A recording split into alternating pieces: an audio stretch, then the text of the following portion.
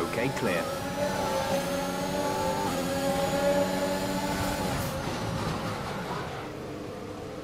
The car behind is a full second down on you.